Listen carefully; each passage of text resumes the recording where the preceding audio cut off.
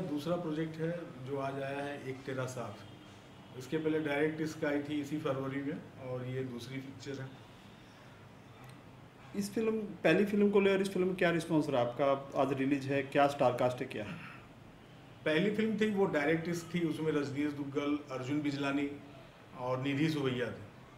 काफ़ी जाने माने एक्टर्स हैं तो उनके साथ किया था। इसमें एक तेरा साथ में ये हॉरर मूवी है और थ्रिलर और इसमें रोमांस दोनों हैं और म्यूजिकल फ़िल्म है। इसमें शरद मल्होत्रा जो महाराणा प्रताप और ये कैरेक्टर भी कर रहे हैं केतु ददानी और एम नजीरत पदम सिंह जो विलन का काम कर रहे हैं। तो ये सब आर्टिस्ट इसमें सर एक प्रोड्यूसर होने के नाते अगर आपसे पूछें इस इस फ़िल्म के स्टारकास्ट को आपने लिया क्या रीज़न था ये इन लोगों को लेने का? क्यों टीवी के कलाकार को बड़े पर्दे पे जो आपने शरद की बात की माना प्रताप कसम से तेरे प्यार की ये सीरियल कर रहे हैं। जी। क्या कहना चाहिए देखिए ये इनको लेने का मकसद सिर्फ़ ये था कि एक तो ये आर्टिस्ट अच्छे हैं और दूसरा क्या कि मैं शरद मल्होत्रा को पहले से जानता था। तो और उन्होंने एक मूवी पहले भी की हुई है। तो मेरे को लगा कि इस प्रोजेक्ट में ये अच्छा करेंगे जिस तरह का एक करेक्टर है और जिस तरह की एक्टिंग इन्होंने अपने पुराने एक सीरियल दुल्हन मैं बनूँगी या इस टाइप का कोई सीरियल था जिसमें वो थोड़ा पागल टाइप का रोल उन्होंने किया था पूरे सीरियल में। और हमको, हमारा करेक्टर जो था, वो सारा का सारा वही है। एक सन की युवराज, जो आज की डेट का होते हुए भी अपनी पुराने रियासत और वो राजा महाराजाओं के रुतबे को ही निभा रहा है। मतलब वो आप समझ नहीं पा रहा कि दुनिया बदल गई। उसको ये समझ में नहीं आ रहा। तो वो उसका सनकीपन, पागलपन इस फ़िल्म में। तो हमने इसलिए उसको कास्ट किया, शरद अगर फ़िल्म की ये जो है सब नए किरदार आपने लिए हैं। जी। हाँ तो क्या उम्मीद है इस फ़िल्म से आप? सर मैं आपसे ये बोलना चाहूँगा कि नए कास्ट से कुछ नहीं होता है क्योंकि मैं हमेशा पहले भी उदाहरण दिया मैंने कि अभी एक मूवी आके गई मराठी बहुत अच्छी सैराट उसमें सारे नए कलाकार थे पर कंटेंट बहुत ही अच्छा था। तो जिसका नतीजा ये हुआ कि वो 200 करोड़ के आसपास या 150 करोड़ जो उसने कमाया उतना तो हिंदी फ़िल्म बहुत सी हिंदी फ़िल्मों को नहीं मिलता। तो कंटेंट अच्छा था नए कलाकार हुए तो क्या हुआ? और ये सरहद हिंदू और पदम सिंह लोग जाने माने कैरेक्टर हैं जाने माने लोग हैं। तो मेरे को लगता है ये कंटेंट इतना तगड़ा है इतना अच्छा है कि जो पब्लिक जाएगी उनको ये ऐसा कभी नहीं लगेगा कि वो आ, जाना उनका बेकार गया या वो ठगे गए ऐसा कुछ लगेगा ही फ़िल्म आज रिलीज़ है आई थिंक तो आ, और इसके रिस्पॉन्स कैसा है? मतलब क्रिटिक की अगर बात करें जैसे फ़िल्म का स्क्रीनिंग भी हो चुका है कल। जी। उसके बारे में क्या कहना चाहेंगे क्रिटिक्स ने अच्छा दिया और जैसे हॉरर मूवी के साथ साथ ये जो रोमांस और इसमें जो म्यूजिकल है उसको बहुत सराहा है उन लोगों ने। और कहा कि मतलब उनके हिसाब से सब उन्होंने कहा म्यूजिकल वाइज और थ्रिल करने वाली मूवी है और लोगों को ज़रूर पसंद आएगी। हर हॉरर मूवी में एक कोई ना कोई एडल्ट सीन होता है चाहे पुराना मंदिर लो बीस तीस साल पुरानी मूवी या फिर आजकल जो मूवी आ रही है या इंग्लिश मूवी लो। तो इस फ़िल्म में क्या ऐसा कुछ है? सर्टिफिकेट की अगर बात करें। नहीं हम हमारे को इसमें यू ए सर्टिफिकेट मिला है। और ऐसा हमने प्रयास ही नहीं किया कि कोई ऐसा सीन डाल दे। हाँ एक सीन है इसमें किसिंग का सीन है।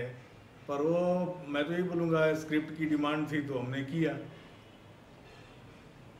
इसके अलावा भी और क्या प्रोजेक्ट हैं आपके? मेरे प्रोजेक्ट आने वाले हैं अगले साल जैसे कि मैं सब जगह बोलता हूँ और जो मेरे को जानने वाले हैं कि मेरा यही प्रोग्राम है कि हर साल कम से कम दो फ़िल्म एक शुरू में एक आखिरी में ऐसा करके आनी चाहिए। तो इस साल दो मेरी आ गई। अगले साल की दो मूवी है इससे अच्छे बजट की फ़िल्म है और एक है आशिक सरेंडर हुआ और दूसरी है इसका बात हम करते हैं क्या भोजपुरी में अपने लाख अजमाएँगे आप? भोजपुरी फ़िल्में ऐसा नहीं है कि भोजपुरी फ़िल्में जो पहले का ट्रेंड था बदल गया है बड़े फ़िल्में बड़े बजट की हो गई है मराठी भोजपुरी की अगर बात करें। तो कहीं ना कहीं आप मैं मैं ज़रूर करना चाहूँगा पर फ़िलहाल जहाँ हूँ मैं वहाँ का भी कुछ काम करना चाहता हूँ। जैसे मैं सबसे पहले अभी हिंदी के साथ मराठी करना चाहूँगा। उसके बाद ही मैं भोजपुरी में जाऊँ मतलब सारे से काफ़ी इंस्पायर हुए हैं हाँ मेरे को कंटेंट बहुत अच्छा लगा। और काम करने का तरीका म्यूजिकल बहुत अच्छी फ़िल्म और मेरा ये टेस्ट है। और मैं चाहूँगा कि अच्छे लोगों के साथ काम करूँ मराठी में। सुना जा रहा है कि आपके मुझे सुना जाए आपके साथ कुछ मतलब वो खुशी नहीं है मूवी आने की? क्यों? मैं तो मैं बहुत कहीं ना कहीं कौन? नहीं मैं बहुत खुश हूँ। मेरी फ़िल्म है बाबा मोशन पिक्चर्स प्रदीप के शर्मा कहीं ना कहीं मन मिटाव हुआ कुछ किस बात को लेकर कुछ डायरेक्टर के साथ लेकर। मतलब देखो प्रोड्यूसर डायरेक्टर एक चोली दामन का साथ है। तो कुछ अनवील करना चाहेंगे आप? वो क्या हुआ था नहीं उसमें ऐसा हुआ कि मेरे को ये लगा कि उन मैं जैसा हमारा उनके साथ था जो बात थी उसमें उन्हीं को सब कुछ करना था। और वो कर भी रहे हैं और इसी दौरान कुछ फ़िल्म में कुछ प्रॉब्लम्स आई जो मैं चाहता था कि जल्दी सॉर्ट आउट हो। पर वो सॉर्ट आउट नहीं हुई। तो थोड़ी लेट भी हो गई। तो यही था। इसके पहले ही मैंने वो डायरेक्ट डिस्क बनाई तो वो इससे बड़े बजट की थी और वो रिलीज़ हुई अच्छा रिस्पॉन्स मिला। तो मैं तो यही कहूँगा कि हम्म, सब कुछ बाद में सब ठीक हो गया। अभी सब ठीक है और खुशी है बहुत खुशी है। मतलब आप लव स्टोरी में बिलीव करते हैं जो मूवी आ रही है लव इसके एक एक तेरा साथ। आगे आ, आगे वाली फ़िल्में भी ऐसी रहेंगी आपकी? हाँ आशिक सरेंडर हुआ वो एकदम रोमांटिक कॉमेडी वाली रहेगी। और नेचुरली वो म्यूजिकल होगी। इसके अलावा इश्क आबाद वो नाम में ही इश्क जुड़ा हुआ इश्क आबाद इसका आबाद तो वो भी एक अच्छा वो भी कॉमेडी प्लस रोमांस और उसको भी हम यूपी में शूट करने जा रहे हैं। म्यूज़िक की बात करें शर्मा जी किस तरह का म्यूज़िक है इसमें? इससे म्यूज़िक बहुत अच्छा है। एक तो थीम सॉन्ग जो हॉरर का होता है वो होता ही है। तो हमने बहुत ही शानदार हम सफ़र एक गाना है वो किया है। और स्वाति शर्मा ने गाया है। बहुत अच्छा गाना है। इसके अलावा पाकिजा फिर सैया अवंतरिका और स्वाति और फिर भूमि त्रिवेदी ने भी एक गाना गाया है। के के ने गाना गाया है टाइटल सॉन्ग बहुत अच्छा। दर्शकों को मैसेज देना चाहेंगे? एज ए प्रोड्यूसर आप अपनी फ़िल्म को लेकर। जी बिल्कुल। मैं ये बोलना चाहता हूँ दिवाली आ गई है। दिवाली में आप इंटरटेनमेंट के लिए थिएटर में जाएँगे। आज के बाद हमारी फ़िल्म भी है, आज से हमारी फ़िल्म भी है।